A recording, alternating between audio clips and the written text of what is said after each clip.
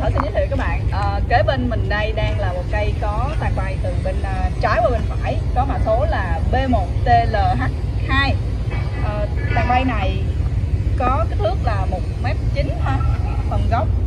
Đó ở vị trí này được uh, 59cm Chiều cao của cây là 76 Và chiều rộng của cây là 1m05cm